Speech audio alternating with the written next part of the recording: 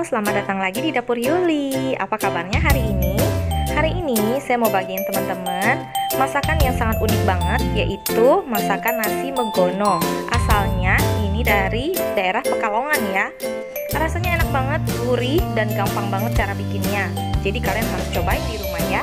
Sebelum saya bagikan resepnya, jangan lupa subscribe, like, komen, juga aktifkan loncengnya ya. Oke, yuk mari kita masak.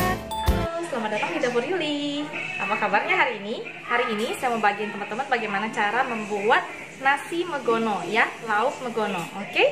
Yuk kita langsung ke bahan. Ini saya udah menyiapkan bahan-bahan untuk membuat nasi megono. Yang pertama adalah nangka ya. Ini adalah nangka muda yang saya beli di pasar, lalu saya cuci bersih, saya rebus selama 10 menit sampai 15 menit, saya tiriskan, lalu saya peras, saya keringkan.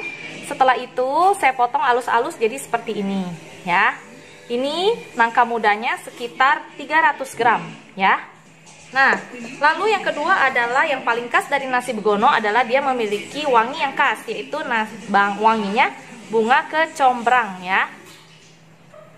Nah, bunga kecombrang ini saya ambil satu kuntum bunga kecombrang saya potong alus-alus ya, jadi seperti ini, ya. Nah, bumbu yang lain adalah kelapa parut dari setengah buah kelapa saya parut, jadinya seperti ini. Nah, lalu bumbu yang lain adalah sekitar 2 sampai 3 daun salam, 3 sampai 4 daun jeruk, 5 siung bawang merah, 5 siung bawang putih, ya, 3 sampai 4 buah cabai hijau yang besar saya potong halus-halus. 3 sampai 4 buah cabai merah yang keriting saya potong halus-halus. 2 buah serai saya keprek. 3 ruas lengkuas saya keprek. Nah, ini bahan untuk keprekannya ya, udah selesai. Lalu yang lain lagi adalah ini adalah daun melinjo. Saya beli daun melinjo sekitar 2000 di pasar jadi sebanyak ini. Nanti akan kita gunakan untuk alas mengkukus uh, lauk nasi begono ini. Oke? Okay? Nah, bumbu yang dihaluskan di sini saya ada sekitar 5 sampai 6 siung bawang merah. Uh, satu ruas kencur. Satu sendok makan gula merah. Satu kotak terasi. 3 sampai 4 buah kemiri sangrai. Satu sendok teh ketumbar bubuk. Satu sendok teh garam setengah sendok teh merica dan setengah sendok teh vetsin. Nah, ini akan kita haluskan ya. Oke, nah demikianlah bahan-bahan yang digunakan untuk membuat nasi megono. Sekarang kita mulai dengan menghaluskan bahan yang ini ya. Nah, bumbunya sudah kita haluskan. Setelah kita haluskan semua bumbunya, akan kita campurkan bersama dengan uh, nangka ini ya. Nah, yang pertama kita lakukan adalah mencampur bunga kecombrangnya ke sini ya. Nah, serambi saya mencampur semua bahannya. Saya sudah siapkan dandang atau kukusan ya, teman-teman. Nah, kita aduk. Saya aduk ya seperti ini. Lalu daun salamnya saya pisahkan dulu. Daun jeruknya saya masukkan ke dalam, dirobek-robek sedikit. Nah, begitu juga dengan serainya saya pisahkan dulu ya. Lengkosnya saya masukkan ke sini. Nah, dan semua dari cabai semua bawang merah, bawang putih saya masukkan ya. Nah. Kelapa parutnya juga saya masukkan ke dalam semua.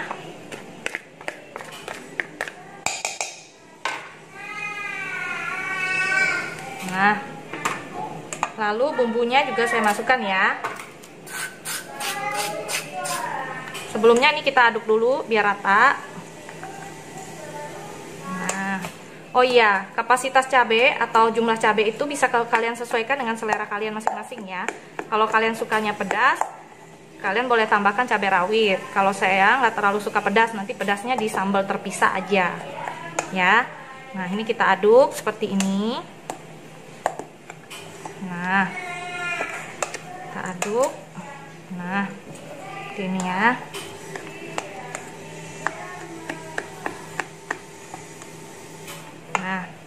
bumbunya kita masukkan ke dalam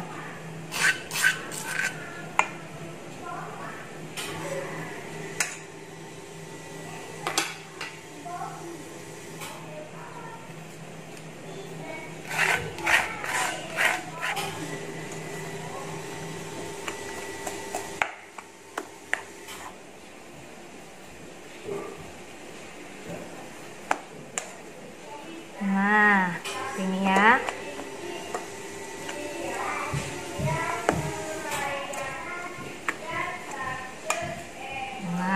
Aduk ya.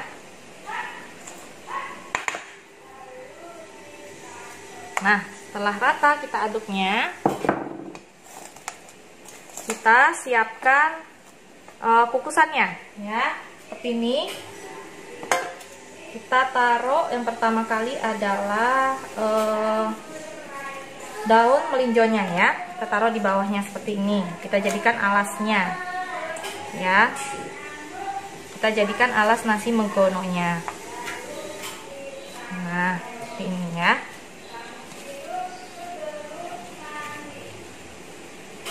Seperti ini ya. Kelihatan nggak teman-teman? Nah. Nih. Kita jadikan alas nasi megononya uh, lauk megononya ya. Nah biasanya nasi megono ini uh, dimakan dengan uh, telur sambal udang sambal atau dengan cumi tinta hitam ya. Seperti ini ya. Nah ini udah cukup. Serainya kita taruh di sini. Daun salamnya kita taruh di sini. Nah ini. Lalu ini lauknya langsung kita taruh di atas sini. Ya. Nah jadinya dia akan seperti ini ya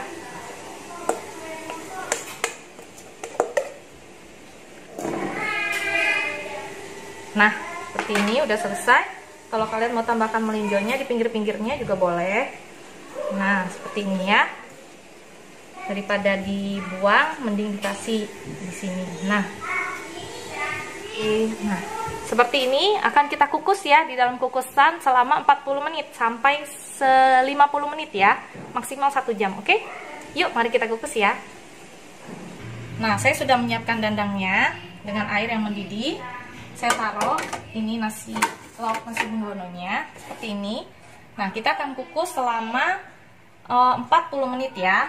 Oke? Nah kita tunggu 40 menit. Nah setelah sekitar hampir satu jam nasi bunggono kita sudah jadi ya kira-kira seperti ini. Nah kita buka ya. Tada! Uh nasi bunggono sudah jadi Waktunya kita